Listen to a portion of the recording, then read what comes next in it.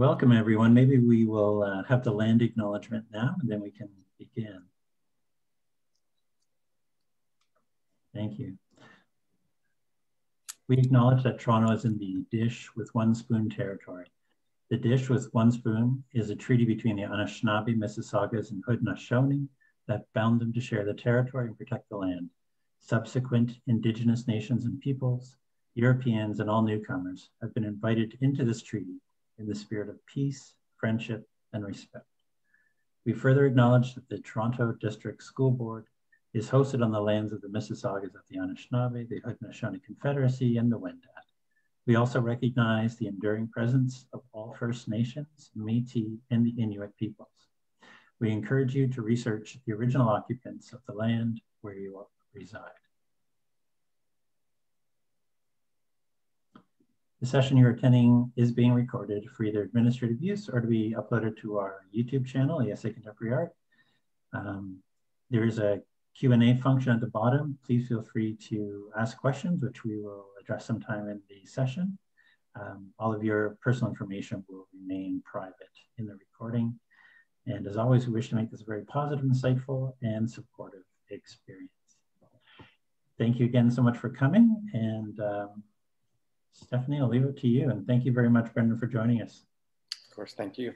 Uh, okay, um, hello everybody and thanks for joining. Uh, my name is Stephanie Cristello. I am a curator and writer originally from Toronto and now based in Chicago, Illinois. And I have Brendan Fernandes joining me, who's also based in Chicago, Illinois, but is currently quarantining in Toronto, Ontario, and is also from Toronto, Ontario. So Hi, Brendan. Hey, Stephanie. So uh, nice to see you, and thank you for having me today. And thank you, everyone else, for having me. ESA. Yeah.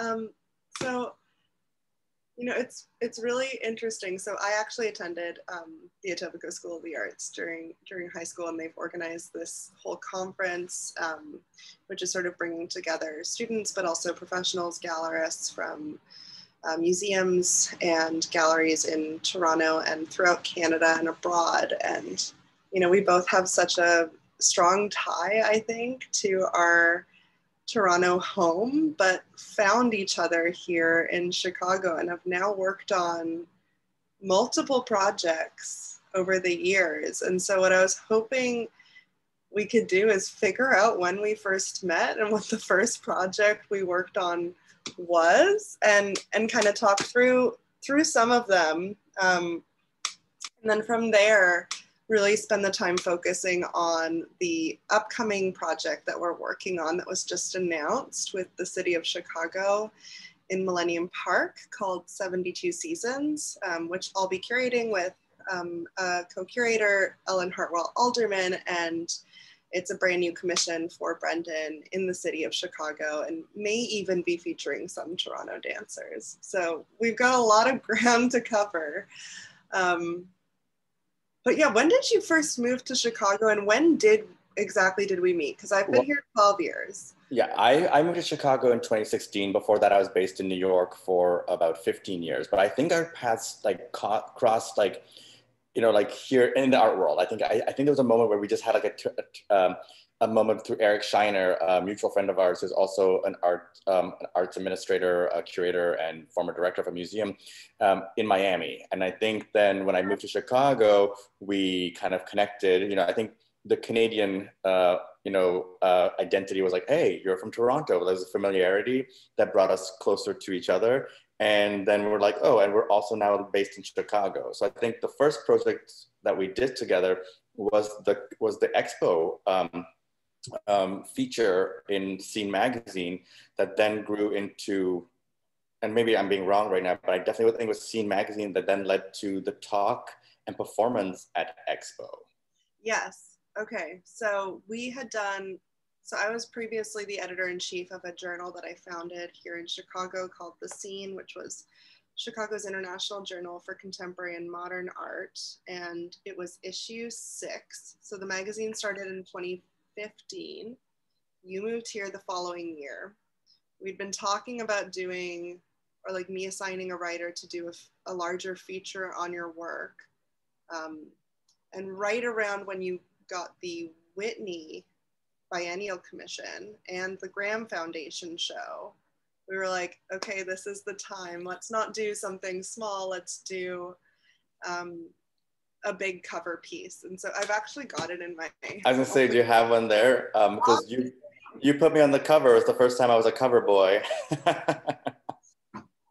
So this was um, a work by Brendan that was on the cover of issue six, and we had this like beautiful spread in here of that work. Um, and so I was thinking that this would be the perfect opportunity for you to just give a little overview of your practice. Sure. Um, what some of the ideas were in this in this performance work, um, which was called the Master and Form at the Graham Foundation, actually a space for architecture um, and art, and your history with ballet. I think it's also such an important part of your identity. And I think maybe why we got along so well is because I was never as far along as you were, but I wanted to be. Well, my career ended early too, but I, and Toronto is where my dance career started. Um, I'm, um, uh, when I moved to, um, to Canada uh, as an immigrant from Kenya, um, you know, my family um, you know, moved to Canada and I really became enriched with the arts. I don't think I would have had that opportunity in Kenya. And uh, in Toronto, um, well, I grew up in Newmarket, Ontario, but when I was going to school at York University, I was a double major in dance and visual arts. But before then, I was taking class in the city. I was taking class uh, in Newmarket. So I took classes at, you know, um, Children's Dance Theater Company. I used to take classes at um, National Ballet. And, um, you know, so Toronto's dancing is really important. And when I go to Toronto, like I have a dance community. I, you know, the, the, my, my dance family is still there and it's very easy for me to connect with them and work with them.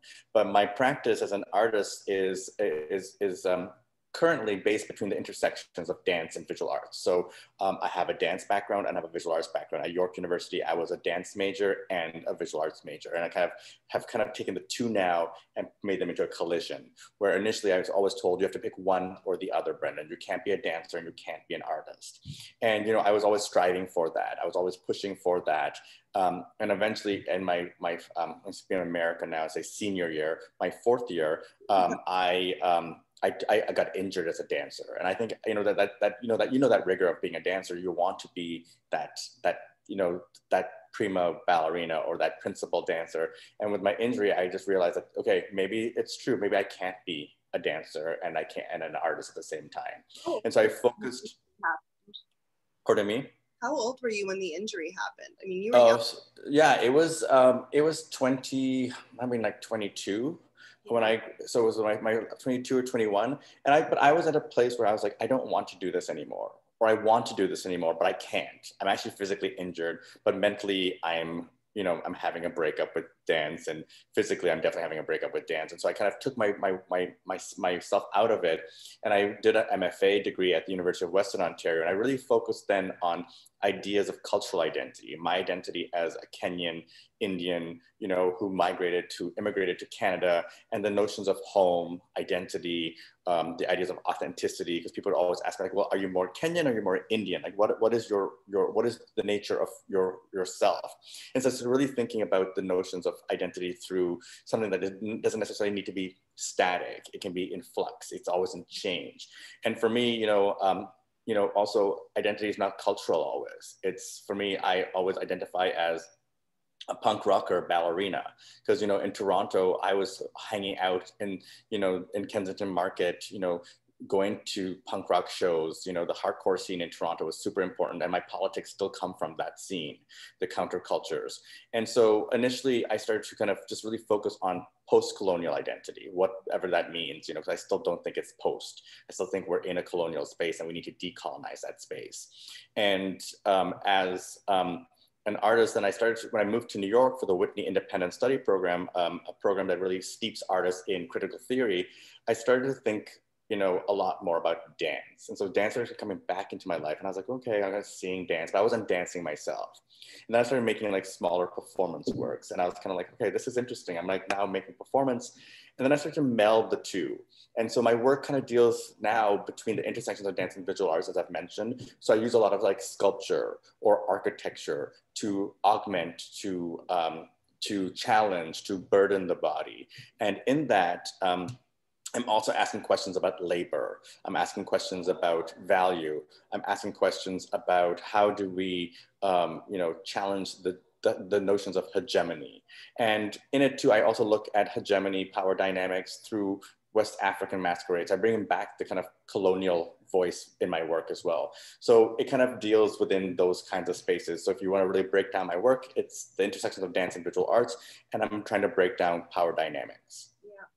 And it's really interesting when you're talking about, you know, the the conception that you can't be a dancer and also a visual artist. There's, yeah, I mean, I have the same thing with with curatorial and and my relationship to writing and exhibition making and writing as well you're supposed to be either an author or or a curator. If you don't have an institutional affiliation there's like this pressure to pick one camp over the other and there's this quote by the artist collective art and language that i love. Like whenever somebody would criticize their work for not being good visual art they'd be like well i'm a writer. And if anybody criticized them for not writing well enough they'd be like well that's i'm an artist you know? So you, you do kind of get away with both of these things well, by creating a hybrid. Definitely or, or people don't understand fully what you're doing. Like the dance world says that's not dance. And then the art world is like is it performance art so there's like because we have very rigid especially with ballet there's very specific rigidity rigidity of what is what is ballet and i'm like telling the dancers to like stand in place in first position and hold it for five hours. You know, they're like, yeah. am, I am I dancing? Because again, I'm also thinking about the, the questions of like, how does one move? If you're moving, uh, if you're not moving, you, does that mean, so is stillness still an active space that can be called dance? So it's about these like, like larger questions. And then, you know, for me, I feel fulfilled that after all of this, this process, like I am making dance, not with my own body, but with other bodies, which I'm very grateful who, who allow me to use, but I'm also making art. So I, I am a dancer or dance maker. So I've danced in my life and I've found a way to have art in my life. And so the two come together in a kind of a, a way that, you know, works for me and it's hybrid. And within its hybridity, it does complicate and create tensions, but it also is something that that's what I like to do. I don't want to fit in a box. Like, you know, I don't want to be one thing. I want to be this queer weirdo um, who can can transcend many different spaces. My fluidity allows me to be all these things, and I think that's what's really important about my the way I make my work, but also the way I, I embody myself. Yeah, and the and the facets of presentation for who you choose to partner with to make these performances and artworks actually happen because the artwork is the happening. Um, yeah. You know, it's it's there is a score and there's a choreography, but the fact that it exists sort of in these one places, documentation is also an incredibly important part of your work. And so I'm wondering if we can, I mean, you just came off of a massive exhibition in Athens, Greece at the Neon Foundation. It's actually being performed like right now, I think. I'm getting like all these, yeah. I'm getting all these like little bloops, like people sending me pictures. Yeah. Well, I mean, that's why you're in Toronto too, is this this uh, quarantine from entering the US from Europe right now, which I'll be doing in two weeks for a project that I'm working on there. But you've managed to forge all of these sort of international partnerships that allow these um, exhibitions to take place in different forms with different contexts and histories that they engage with. And I'm wondering if you can walk us through the most recent one with Neon. Um, the performers, but also the garments and the way, you know, how did you conceive of the movement and what was the work? Yeah, I actually, I'm just putting the link. Um, I'll put in the link. The web. There's a really beautiful web page that they created that I'll, I'll can send you guys as well. But um, so, pandemic. You know, I make work that is based on bodies coming together. Critical mass is really important. Uh, big gatherings for me is really is this idea of solidarity in my work, I gather people to move together, to move as one body. And for me, that's the way of thinking about um, society in a more, um, a more nuanced way that we support each other. And so pandemic, I started thinking to myself, like, everything that I, I do, I can't do. I can't touch people. I can't bring people together in a room. And so I was really thinking, initially I was having a bit of a breakdown, um, you know, minor breakdown, because then I was like, okay, figure this out. New form, new form of making what is the next form going to be? How do we do it? It might not be a bunch of dancers like on, in, in, one space touching, how, what do we do this? And so I started to really, really think. And then I thought about the idea of a solo. And um, the piece at Neon is looking at um, um, this idea of, of, it's called a solo until we can dance again. And it's questioning the idea that, you know, I will dance by myself until we can gather.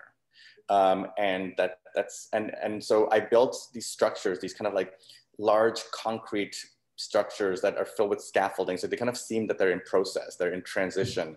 And the dancers, um, uh, one dancer at a time will come out and will, will respond to the dance floor. So on these big monoliths, there's these, these circular um, Marleys cut out.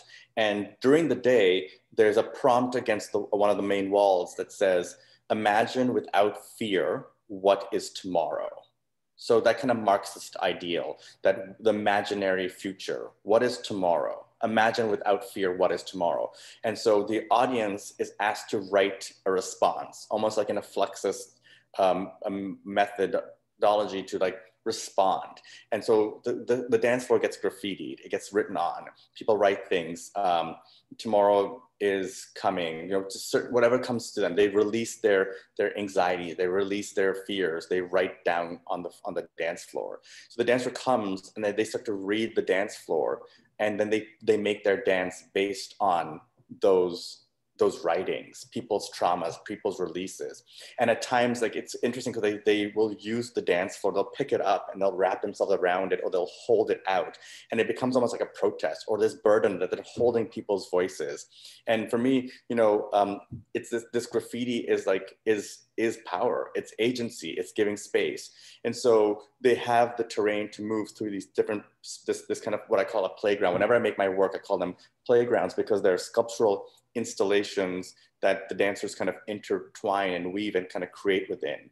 So that was the piece at, um, at Neon um, um, that I just opened last week. Um, and it's still, you know, for me, it was such an important piece. And I, when, I was, when I was rehearsing and teaching the group of dancers, it was kind of weird because I was like, they'll never be together as an ensemble. Because I had 10 dancers, but I was like teaching them the choreography and there's a lot of improvisation as well, but there is choreographed motions. But I was like, oh my God, they're never going to be together. And it felt weird, but I was like, but that's the sentiment of the piece that one dancer dances this, this, this, this lonely dance. And we watch it because we can't do it together. So it's a solo until we can dance the game. And the writing on the dance floor comes from, you know, a lot of my work deals with the club, um, the idea of, you know, Pulse Orlando, the, the dance floor is a space of agency. The dance floor is a space of, of a safe space or a brave space. But I also think about this one dance floor in Los Angeles um, during the AIDS pandemic, a dance um, um, rehearsal space called Hi um, Highways in Santa Monica um, had asked their community to come and write down their releases on the dance floor to, re to respond or to write the names of people that were dying of, H of AIDS. And so that became kind of like the footnote that then became my neon piece. And I've always been thinking about this, this that dance floor it resonated with me so hard. You know, um, you know, this pandemic for me definitely has residues from you know me coming post AIDS crisis. The AIDS crisis still exists, but like you know, coming out, you know, in you know, um, and no, and still having that residue of fear and and not knowing how to maneuver or what would happen to me. So the, the two kind of have becoming like are being intertwined in my my thinkings. Yeah, and and that's like the most problematic thing about the the discourse surrounding i mean there's many problematic things but the discourse surrounding the pandemic as the first um, pandemic or the first epidemic to reach our generation or from the last hundred years is, is false. Um, with, with the AIDS crisis still going on, it's like, how is this erasure still happening through language? And language is important, which I think is, you know, why, why we work so well together as, as a writer and as, uh, you know, with your work, we are still very both invested even though I have my different research and you have your different research, the intersections that we've always found are through how are we narrating our contemporary art history? Um, what stories are we telling? How are we telling them? it's it's and i think I. I think that's really important because we continue to tell stories because sometimes the stories get forgotten right and you know uh, even like I, I taught a class on you know post uh, post um, you know pre and post and current AIDS crisis. And some of my students were like, I don't know what an AZT is. And I'm like, okay, let's let's let's go back. We need to remember these as as you know, we need to remember our histories and and, and recollect them and then and put post uh, you know learn from them so i think it's really important and i think that's what we do in our in our work together is we we do it in ways that you know really challenge but also kind of create you know reminders but also newness uh, in its in the dialogue. Yeah. And the prop is also you know such an important part of your work and it's been something that you know you al- there's the the dancer the the body is the artwork but then there are also these props that are then you know are those sculptural objects? Are they props for a performance? Um, i'm wondering if you can talk about like not to be crass, but like when was the first time you sold a prop? Like when did you realize that this thing is actually also a sculpture or these these objects that are used in performance can also be objects of art within themselves.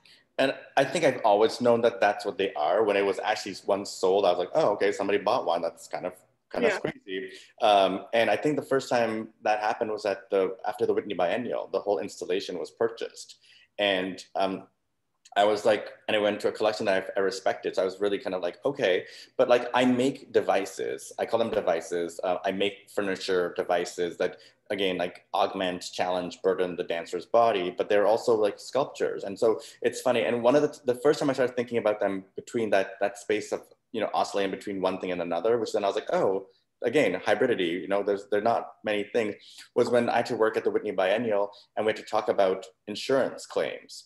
And that's how i started to think about them as different things because you know when when they're being danced with they're not they're not insured as art objects. When they're when they're when they're um Like when this- somebody's putting their legs in a split on this thing, it's, it's not an art object it's it's insured for something different. And when it's when it's um when it's um just on display it's a different insurance. And so then i was like oh this is really interesting. But then i started thinking about like my research with noguchi and martha graham at the graham sorry, at the noguchi museum which was another show that i did um, a collaboration between the noguchi museum and myself. I also say it's a, a collaboration between myself martha graham and um, um, noguchi um, was the idea that you know what a nice crowd to be I know.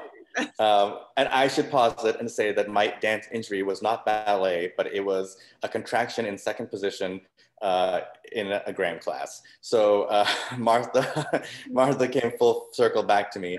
But uh, the thing is that I, um, you know, was thinking about how Noguchi made props and design sets for Martha Graham and how those now are displayed in the museum as art objects. So even within that space, that kind of like you know duality that multiplicity is something that's really um, interesting for me to kind of consider um, and so i've really been pushing that a lot in my work because again it creates that kind of confusion that kind of tension that i've been talking about within my identity within the form of my work but also in the form of the, the objects themselves they become classified as many different things and i kind of like that Right. Yeah. They're in that like liminal space where, yeah yeah, which, you know, also causes problems within the art world too. That's so uh, hell bent on wanting to categorize everything in, in these really digestible. Well, even just thinking about insurance claims, right? Like how Yeah. insurance claims claim the work as being an art object at certain times, and then insurance claims will tell it's a, it's a prop at different times, you know. And the dancers could only touch the the objects when they're for that exact moment that it was deemed performance time, and when performance time was over, there's no way you can touch it. But even the way that even the way the audience would maneuver when it was dance performance time, they created a stage and they all stood around them. And then as soon as they left, the dancers left, they then moved into the space and started to mingle around the objects and would view them like a sculpture. Yeah. So those choreographies are really interesting for me. Those kind of embedded choreographies within our everyday Mhm. space, how we walk, how, how we act in a museum, how we act in a theater, for example. yeah, it takes all of the institutional cues that we all think are normal um, because we're used to behaving a certain way that are actually very prescriptive. Totally. Um, and learned, it's all learned behavior. Um, so the, the exhibition that you did at Noguchi, I think, which was two years ago, is really the, um, I think it laid the seeds for the upcoming performance that we're about to do in August, September, and October of this year in Chicago's Millennium Park. Um, for those that haven't been to Chicago, it's this gorgeous um, park right on the on the Lake Michigan, across from the Art Institute of Chicago, where the famous Bean is. Um, but we're actually behind the Bean in the Lurie Garden, which is a prairie um, a prairie preserve right in the heart of downtown Chicago uh, that was designed by landscape architect Piet Oudolf and really questions this idea of what makes a native species. It's a, it's a perennial garden, but as we've learned, not everything that is native is actually a native plant. It's sort of a controlled, um, it's a controlled invasion actually um, for, for the biodiversity to allow the native plants to grow. Um, they need some com healthy competition. So that was a site that we picked a few months ago and, and it just got announced by the city of Chicago that it's happening this summer, which is fantastic. But the, the title of the work is called 72 Seasons and it refers to the Japanese calendar, um, which is divided into 72 seasons. So each season in the Japanese calendar lasts about five days. Um, the seasons have these really beautiful poetic titles, such as Fog Descends or White Dew Collects on the on the amaranth, or um, the first fall, uh, the first frost falls. Yeah, or like thunder quiets its voice. You know, so we have all of these relationships to nature through language um, that are happening in in the seasons that we've chosen to host this performance in once a month um, for three months.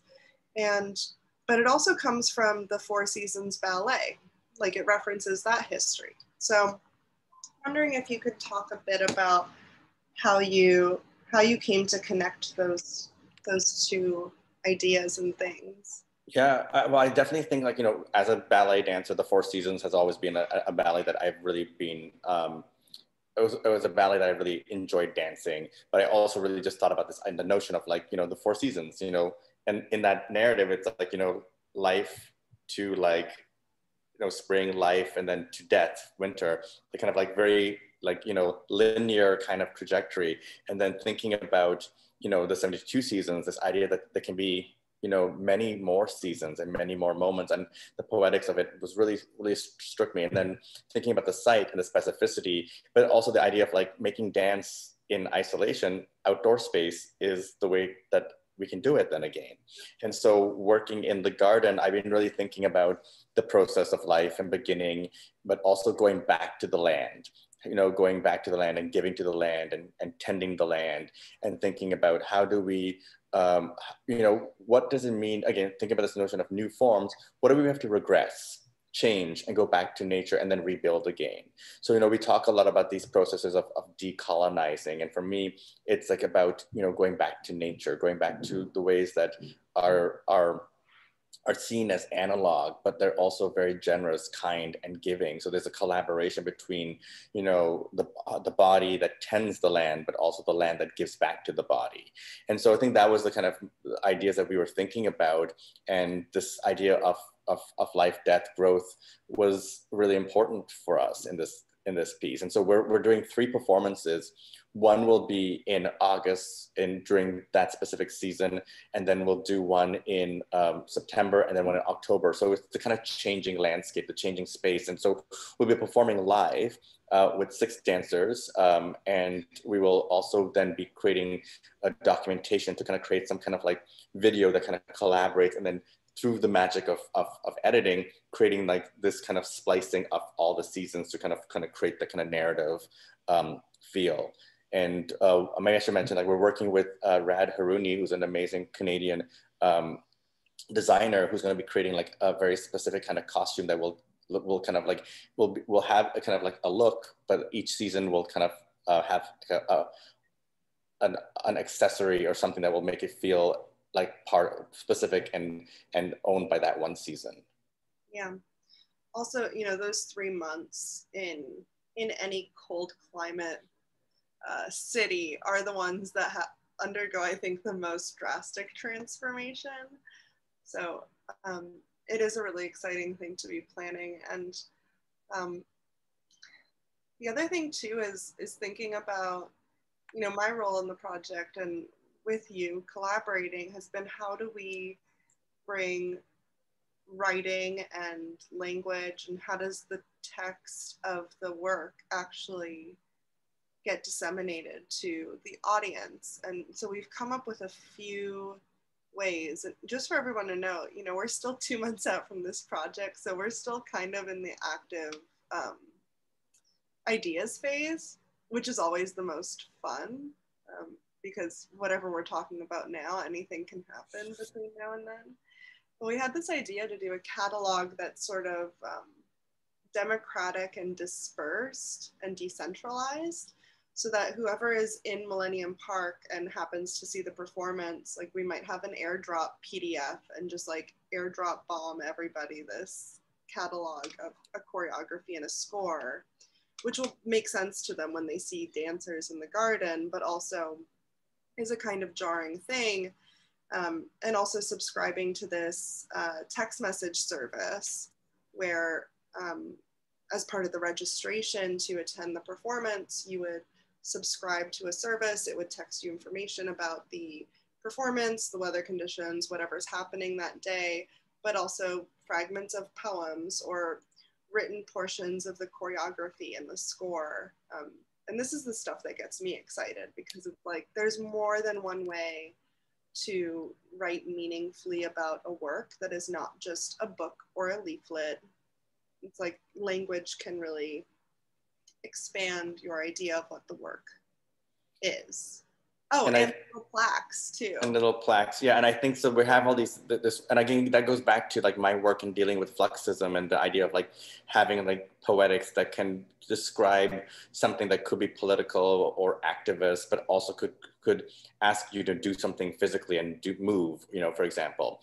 And so we're having these these kind of moments in the garden, and I always am using you know technology analog technologies. Like i did a whole performance this past year for the art gallery of ontario where the whole choreography was was was created uh, rehearsed and then uh, performed live on zoom. But i've done other things where i've used snapchat and um, other forms. And so um, this idea of like this the, the text messaging i've also done before but i love this idea of disseminating. You, you you sign up but then you at the end of it you get a score. You get like an art piece um, so I think that that's really um, an interesting way of kind of thinking of dance and technology, uh, dance, um, and through technologies that we use every day, like our cell phones become, you know, even the way we swipe, that's a choreography. And so I kind of just love um, those, um, those, those, those moments of using um, tech to kind of get people to think differently and to also like challenge the, the their movements or their, their, their conversations.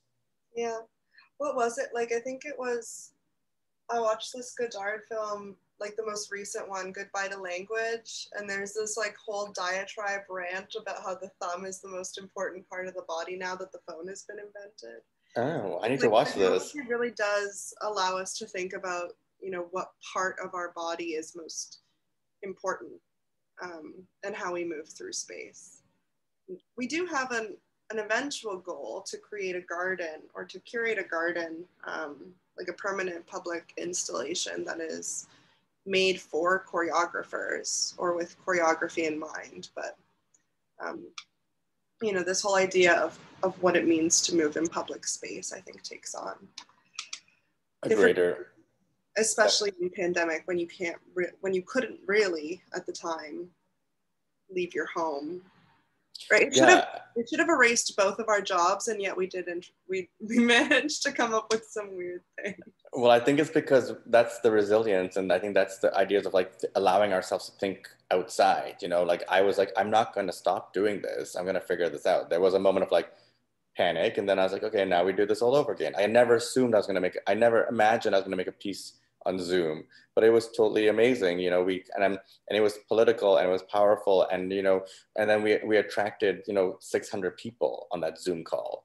And I was like, if I did it live, I never would have had 600 people because the museum probably couldn't handle 600 people. And so it was just interesting about these ways that, you know, we're challenged through a pandemic, but it also, there's also ways, there's silver linings for sure. Yeah.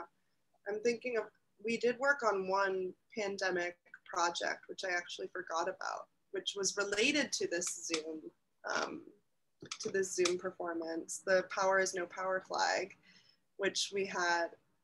So I run a space called Chicago Manual Style um, out of my garage, couldn't have anybody there. So I did this project with flags called Four Flags, where 35 artists in Chicago designed um, an artwork that would be flown from the top of my building. And we had eventually, uh, we had had a dream to do a performance of a dancer on my roof. And I think we made the right decision in saying that's not safe. But also, I think it just led us to this conversation, you know. So it, it, it was a it was a thing where we're like, okay, well, let's not do that. But the flag was really important. Like it was this, it, it was how I was feeling in that moment in that time where I was like the you know like I was thinking about you know the pandemic but also the social uprisings of Black Lives Matters that were, were outside my window where I would put on my mask and go and protest. And but I was like you know what is this power? Why wait what is this power doing uh, you know for me? It's not supporting me you know and thinking about police abolition and all these things. And so that flag was was was was indicative of my space my sentiment at that moment in time. And um it would have been it would have been interesting to do a performance, but we just were like, okay, well, maybe not right now, and then it's led to 72 seasons. Yeah, no, it's it's exactly right. So I just wanted to let everybody know that's in the audience right now. I'm going to ask Brendan a few more questions here, but to, if you have any questions, um, now's a good time to put them in the Q and A, and we can either unmute for you to ask or um, read them out loud. Um, but one of the things I wanted to sort of close with before Q&A, if we do have any questions, is I know that there's also, you know, quite a few students on the um, on the attendees um, and who will be watching this on YouTube after. And I guess what I wanted to cover is sort of the, the uniqueness, but also the strength in working with an artist over multiple times over the course of many years, which I think doesn't happen so much in the contemporary art world. There is this, um, for some reason, there's this drive that if you do, if you work with more artists and do more smaller projects, like therefore you are a better curator. And one of the things I really like, and the trust that we've sort of built over the years is that because we worked on the few projects we keep working together, it is really nice to see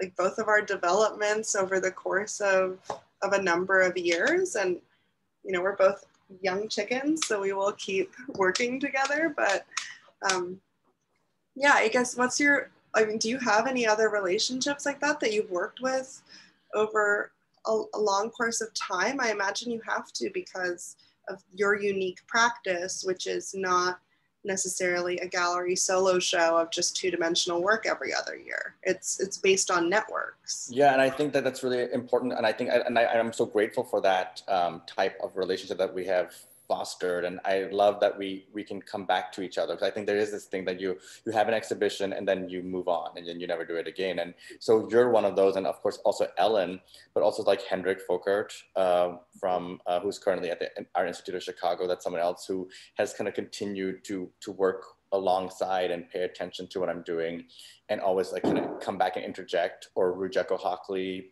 at the at the Whitney right now who put me in the her and Jane Panetta put me in the Whitney Biennial like you know we had done other research and projects and we can keep it where you know it becomes like not just business all the time it becomes like also like a relationship like we I'll I'm like I'm going through something like let me I'm trying to think this through and then I'll call you or I'll call Ellen or I'll call someone and so I think it's really important to have those types of relationships and allyships in the art world because it can get somewhat, you know, lonely or like you know i'm in my studio by myself sometimes thinking these ideas and then i bring them to the studio and I, then i present them to my dancers but sometimes i'm like are these ideas good?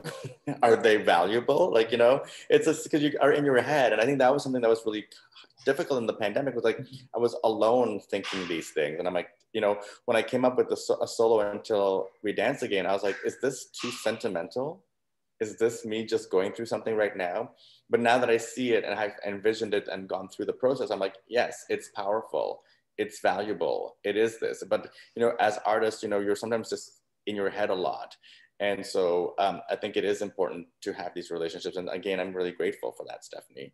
Yeah.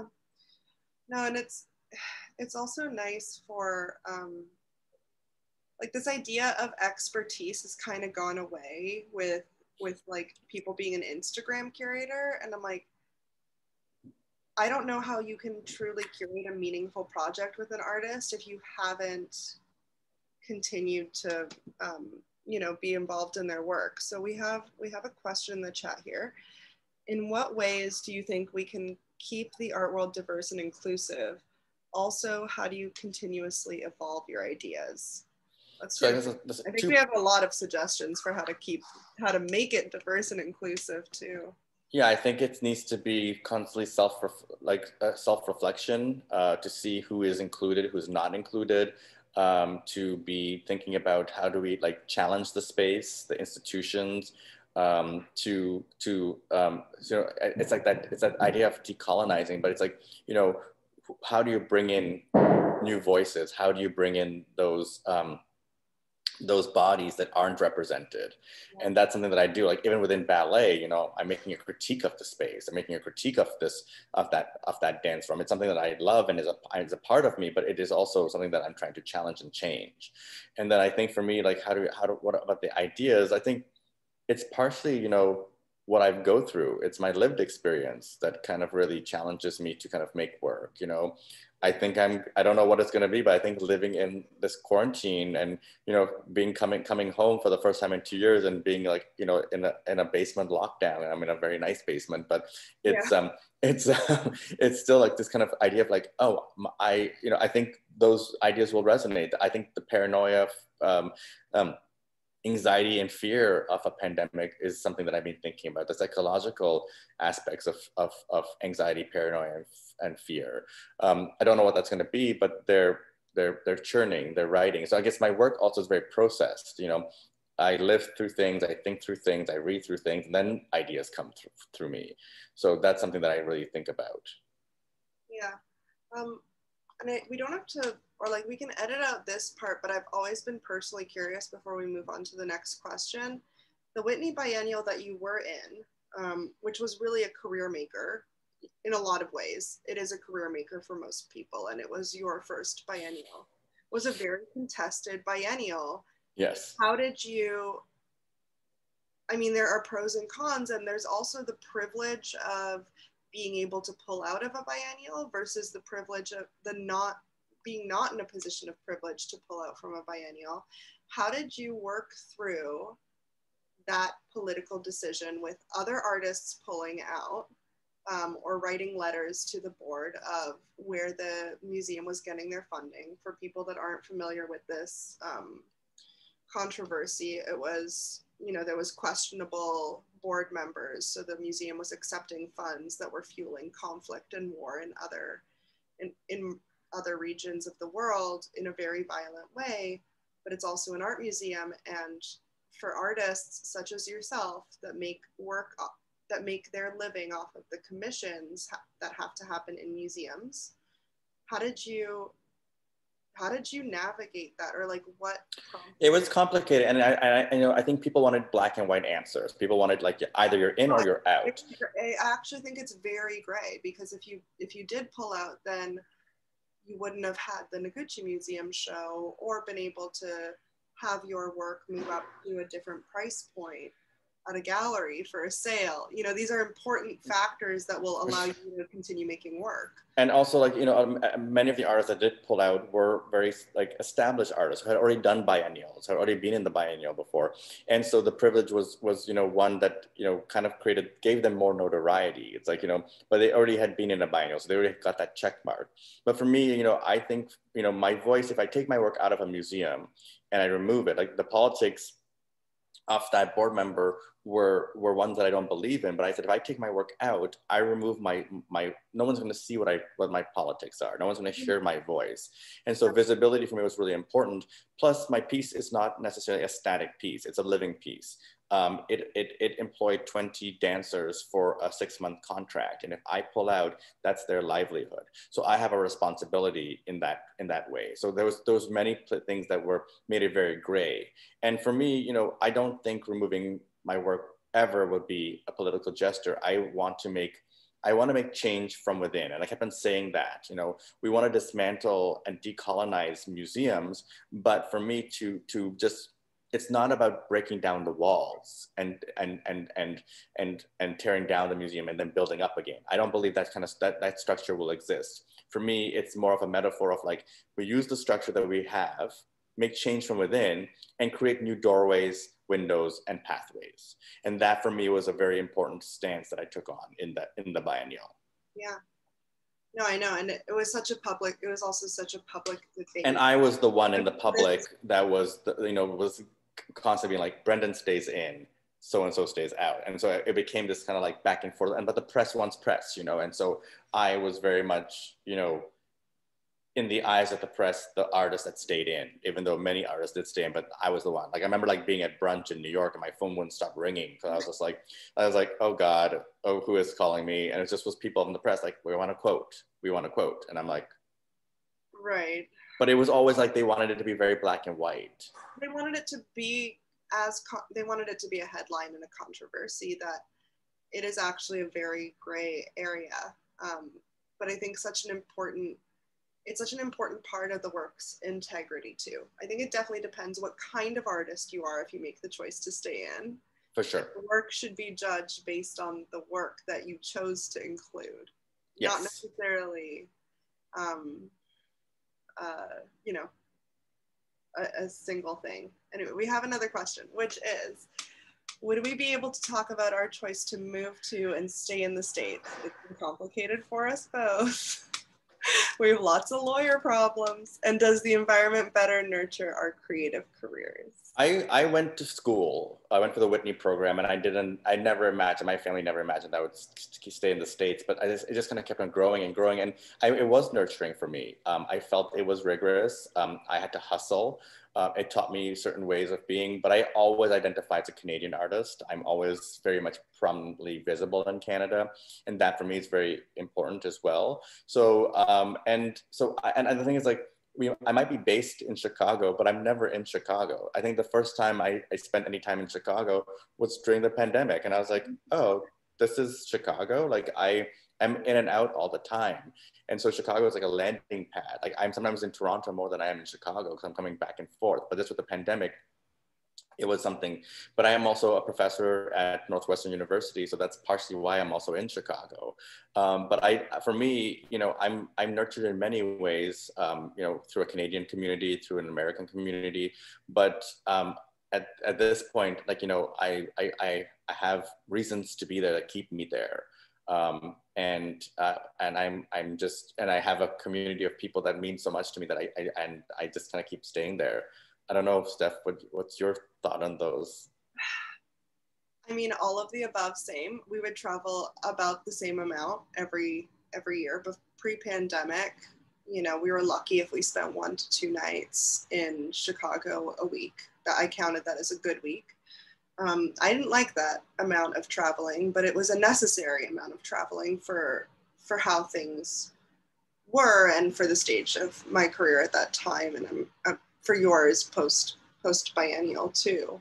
Um, I don't think I'll ever move from Chicago though because I absolutely love it here. I mean, never say never, but um, it is the only city in the states um, not in the world, but in the States for me, where I feel like there's, there is um, a great community of scholars, thinkers, like-minded people, amazing artists live here. There are 14 amazing institutions. What lacks is the commercial gallery um, community, but even that's growing. Um, and we have quite a bit of people, but there's there's no um, expectation that you have to come out every single night and socialize. If you're writing a book, it's like you write your book, and everybody kind of respects that. Um, there's so, a really there's a I have to say like you know like living in New York for 15 years and then coming to Chicago, there was a real sense of of community. You know, when I came to Chicago, people were like, oh, welcome to Chicago. You know, we know your work. We were excited to have you here. Um, within the first three years of, first two years of living in Chicago, I had three solo exhibitions at some of the main institutions. And that was like kind of, I was like, oh, what is happening here? And it was like a very, you know. New York within three months? no, you know, like it's still, it was like, it was like, and people, and New Yorkers are, uh, have a mentality of like, oh you did it keep working you know like just you check you, just, you don't stop you don't acknowledge your labor you don't acknowledge the work you've done and chicago really gave me this moment to be like think about the work you've done and, and support it um, and i think for me like i, I like the, the, the idea that chicago is my base but i can come to toronto uh, and i can go to new york or i can go to la or i can go to europe like i just kind of like to be uh, like again like not traveling every week but having that that mobility is really important chicago is also a very affordable city I was thinking about at one point in the pandemic, I was thinking like, I'm going to move back to Toronto. I want to come back home. Um, and I couldn't afford Toronto. No, no, no. We have a lot of, we have a lot of space, but there's also the, this, it's a working, it really is a working city in the sense that like, if you have something to contribute, it's like, do your work and people will kind of judge you based off the work, not how many parties you went to. So yeah, exactly perfect for me. Although we love we love a good party when it when the time is right. like after our 72 seasons performing. Exactly, exactly.